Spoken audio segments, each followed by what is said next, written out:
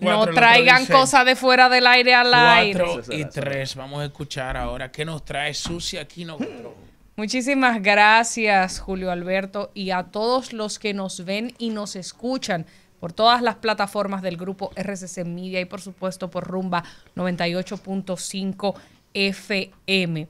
Dos temas lamentables, ¿cuál de los dos peores? El primero, eh, lo comentábamos al inicio del programa, hablaba nuestra compañera Claudia Rita, de la mujer que fue asesinada por su pareja y otro hombre el miércoles 6 de noviembre, o sea, en esta misma semana, el día de ayer.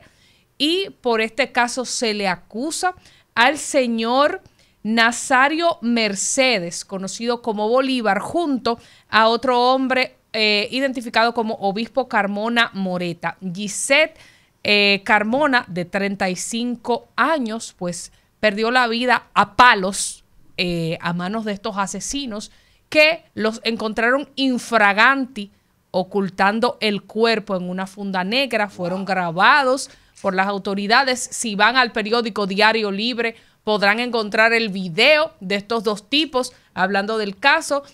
El hombre dice que se arrepiente, que él no es de ahí, que esa no es su forma, que esa no es eh, su conducta. Sin embargo, en el 2008 ya había sido acusado de asesinar a una joven de 18 años que eh, luego de estar en una relación con él, al poquito tiempo fue encontrada en unos matorrales en San Pedro de Macorís. Esta joven se llamaba Diana Carolina Lorenzo Medina. Pero cuando uno se pone a ver, no solo este caso, eh, sino otros más, vemos que no es una realidad aislada en República Dominicana. Porque solamente en el mes de junio, o sea, en el mes de junio se reportó que en lo que iba de año, o sea, a mitad de año, se habían registrado 24 feminicidios en el país. Datos aportados por la directora de violencia de género de la Procuraduría, Ana Andrea Villacamacho, quien también forma parte de RCC Media con su programa Trátame Bien en Sol. Pero asimismo vimos que desde el primero de enero de este año hasta el 20 de agosto de este año había 34 mujeres muertas a causa de la violencia.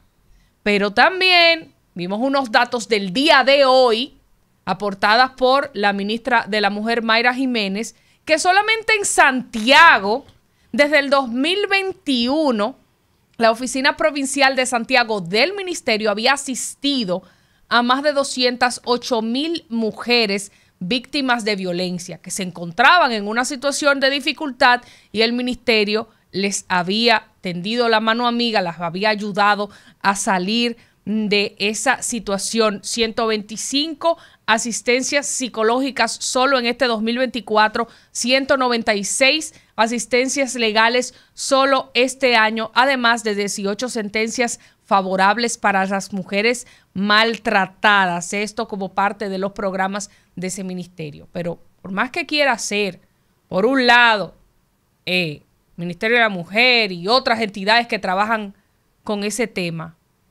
¿dónde está la justicia? para estas eh, mujeres que mueren a causa de estos tipos. Porque si esta joven de 35 años no se hubiese encontrado con ese hombre que ya había estado acusado de matar a otra joven en el 2008, si no me equivoco, 2008 fue, 2008, el, el dato que acabo de dar, sí, 2008. Ese hombre acusado de matar a una niña de 18 años en el 2008 si hubiese estado preso, no mata a esta de 35 en esta semana.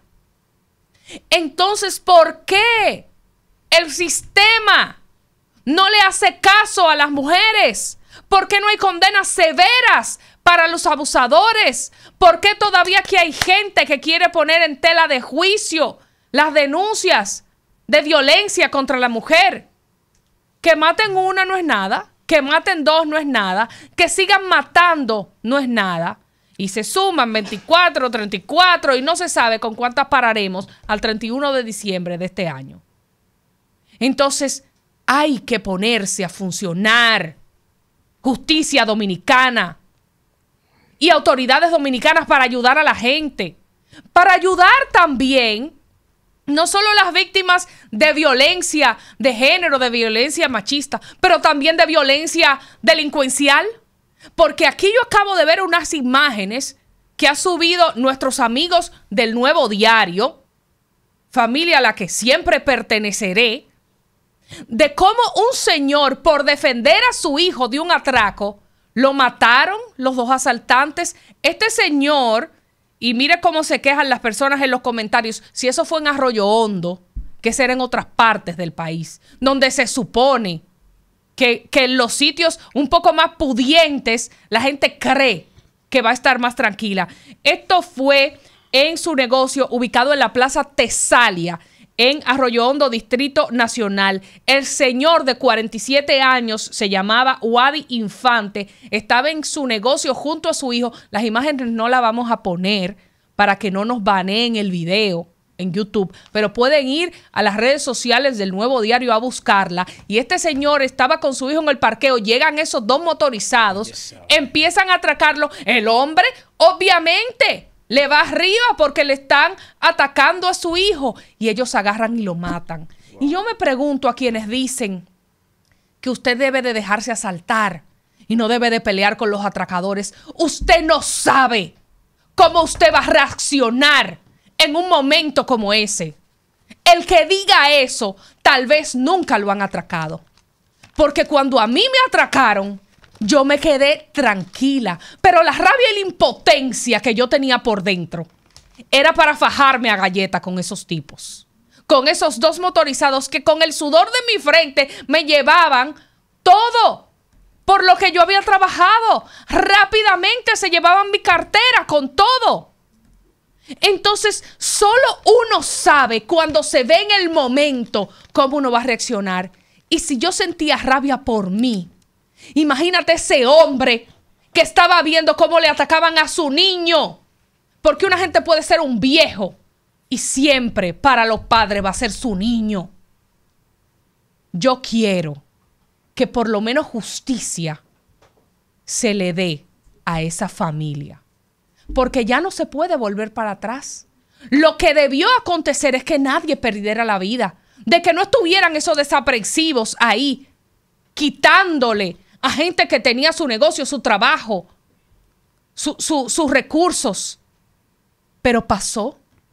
Entonces, de los males, por lo menos, vamos a darle el consuelo a esa gente de saber que los dos que quitaron del medio a ese padre de familia van a pasar un tiempo prudente, no el necesario, no el que nosotros personalmente consideremos que sea justo, el que por la justicia entiendan que es el que debe dársele a esos bandidos delincuentes.